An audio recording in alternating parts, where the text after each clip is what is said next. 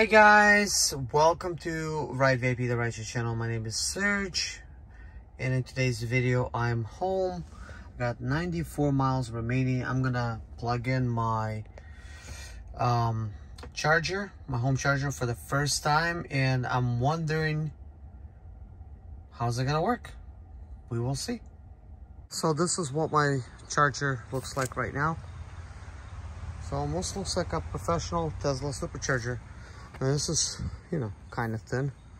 And it's kind of thick.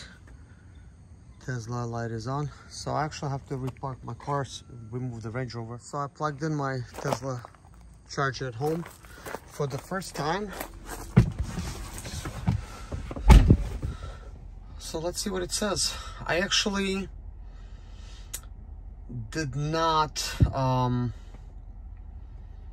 did not put a like heading like home or whatever like to charging or whatever like I did, I did not preheat the battery. So basically here's where the charge is. It says 25 miles an hour. That's better than what I thought it's gonna be. Um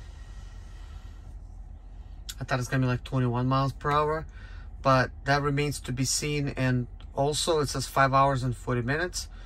If that's the case I'm gonna be quite happy now, the more charge you have, um, let's see, 37% left right here. The more charge you have, the slower it charges. If that makes sense, like the more percent, the, the higher percentage, the slower it charges. Um, so I think my home charger is working quite well. Now it says 27 miles uh, per hour. Now I'll wake up and let's see let's see what it really takes.